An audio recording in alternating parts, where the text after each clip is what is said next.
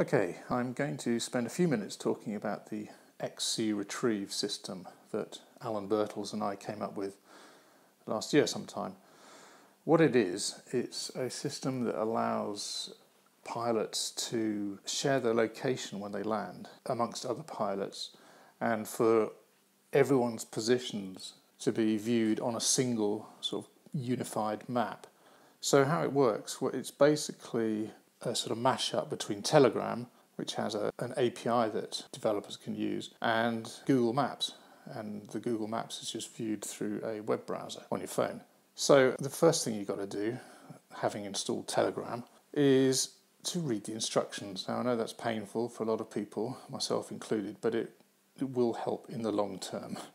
So if you go to my blog, flyaszent.wordpress.com slash xc hyphen retrieve, you will see a page full of instructions. And I'm not going to go through them all now, but if you scroll down through past the introduction, past the overview, and then you get to how to set it all up.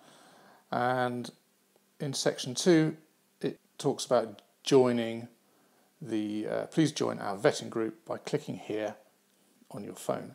And once joined, state which groups you want to join. So this is so that we can vet you to find out whether you're actually a bona fide pilot or not. We we did have some Iranian spammers at one point uh, joining a retrieve group causing havoc. So we've done this to sort of so that we can avoid publishing the links uh, publicly. So when you click on that link, it will take you to the UK Retrieve vetting group. And in just just send a message saying I'd like to join X, Y, and Z group, and then one of us will send you this this list of the current links. When you get this list, just click on the ones you want to join, and it will it will join you into those groups. For the time being, for this demo, we're going to do everything in the test group so that it doesn't annoy other people. So here's the test group. So basically what you do when you land, share your location. So you go into your own retrieve group, you know, not, not the test group obviously, and you can um, you just click send this location. Now I'm, for the purposes of the demo, I'm going to move my pin somewhere else. You might want to do that because if you land a bit of away from a road, you might want to put the pin on the nearby road. Anyway, I know someone has dropped a pin in the test group near Pewsey. So I'm going to drop my pin near there for the sake of argument. Ping, send group. So I, and then having done that, you can write a little message saying, uh, trying to hitch back to Bath. And then this is the important bit, include the hashtag hash map. By doing that, when you look at the pins on the XC Retrieve web page, which we go to now, you will see that message.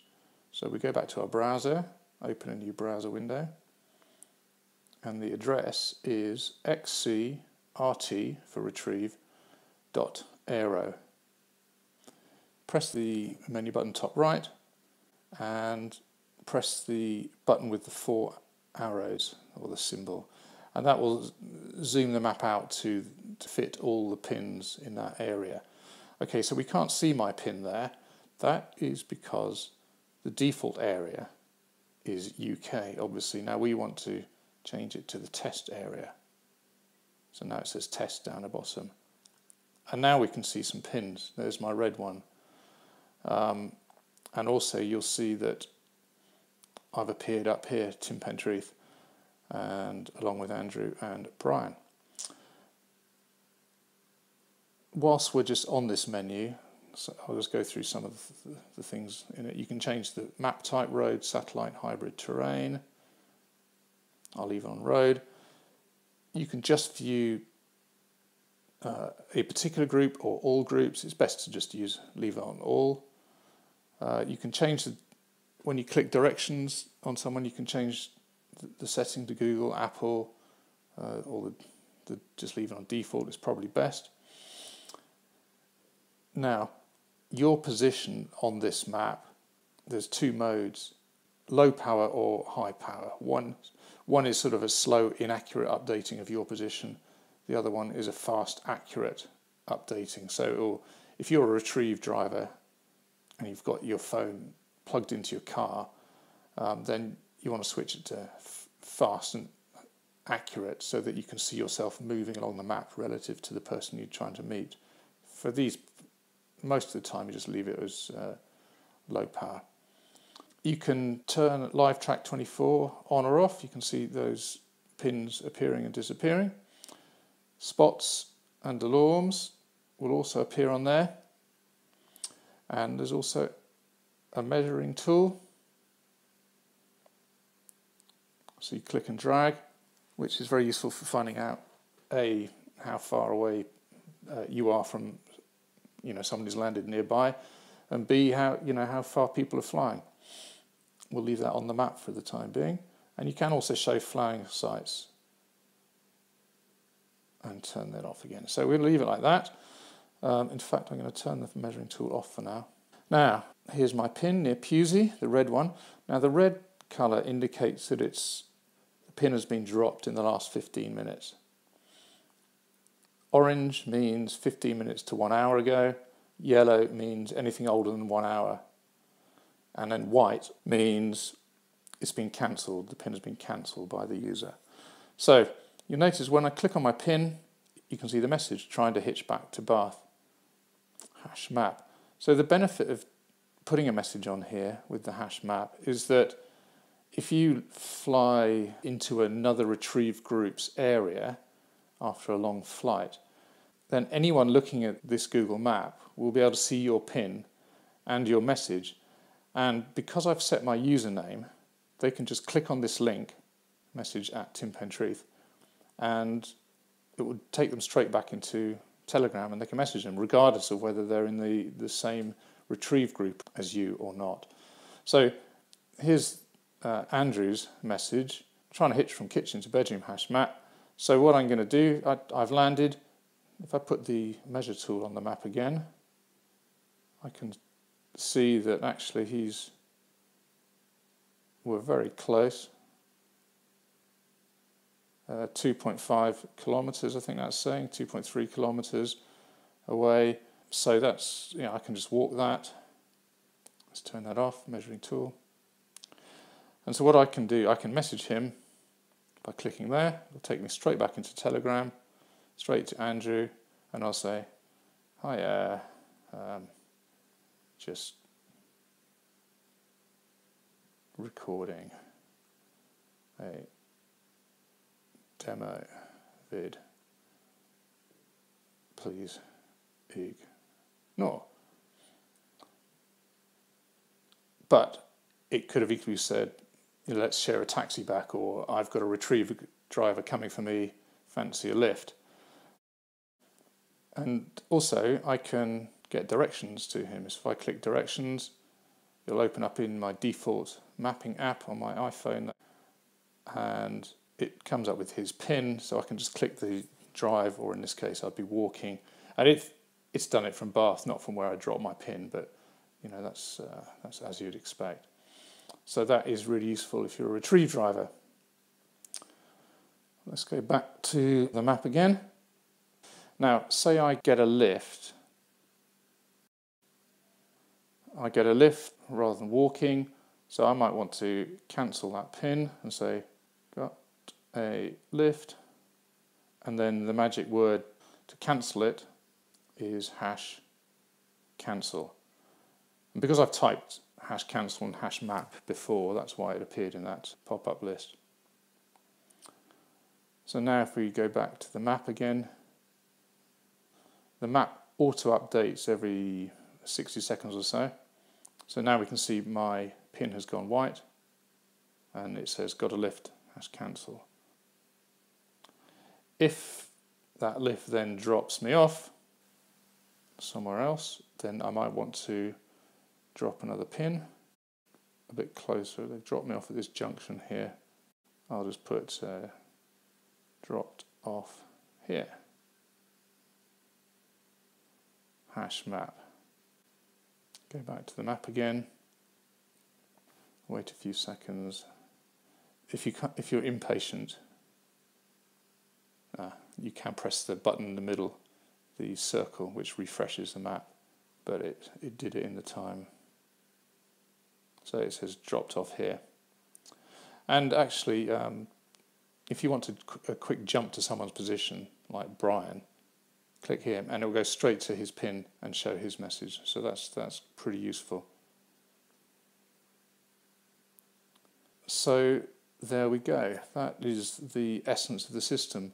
When you're back home or when you no longer need any retrieve assistance, just type the hash cancel again so that people are aware that you're, you're sorted.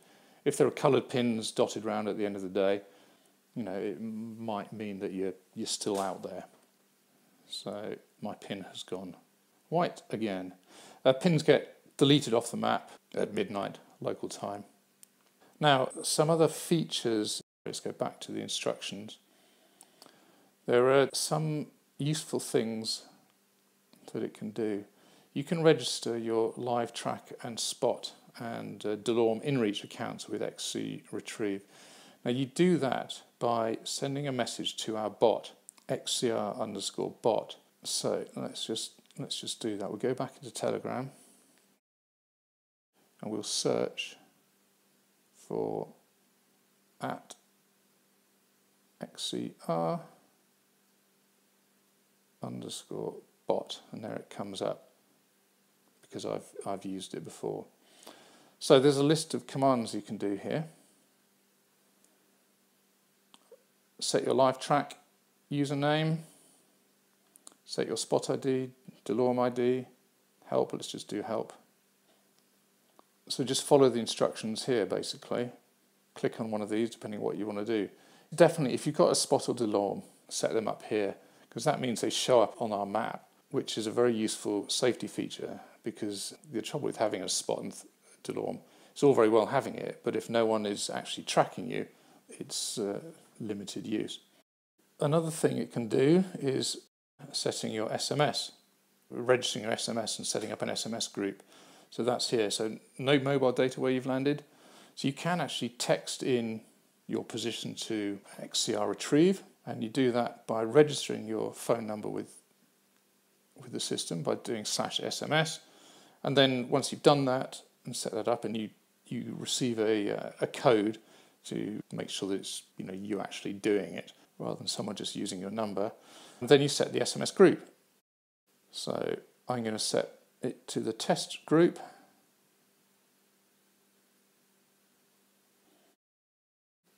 So now, if I use the GPS to SMS app, I can send an SMS and it puts that position here. Type a little additional message, just testing. I've saved the XCR SMS number, you know, in the app, so that's already there. So I can just press send. So now, if we go back to Safari,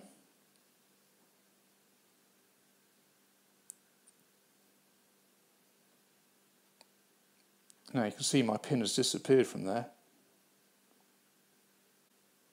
And it's at my home location. So here's, here's the message. And you can see at the bottom, just testing. Because I've landed somewhere without mobile data, there's obviously no way they can contact me because if they try and message me through this, it doesn't work. So a good idea if you're going to be flying in sort of more remote parts of the country is in Telegram in your settings, go and put your mobile phone number in there. One, two, three, four, five, whatever it is. So that way it will appear on the map and then people will be able to text you even if you've got no data. And you can see in, in the test group, see my message here, or the message, the SMS. I need to cancel it because I'm sorted. Now, just say you've got a lift and you've still got no data, but you have got a bit of mobile signal. You can cancel it from here, just send another SMS. And at the bottom, just type hash cancel. And we'll switch back to the map and you can see it's cancelled. It's gone white. So there you go. Incidentally, these live tracks, let's click on someone up here. I don't know who this is. When you've got a live track, you can see the altitude, so you can establish quickly whether they're flying or not. You can get directions to that location, and you can also view their live track. So someone's had a nice walk along the beach or a flight along the beach. And if there was a spot or Delorme location here, you could click on it and it would take you to the, the spot page. So that is it. It seems complicated, but it's not really. Once you get used to it, it's very, very easy. And it's worth taking those few minutes to set up your spot or your Delorme and your live track and your SMS number.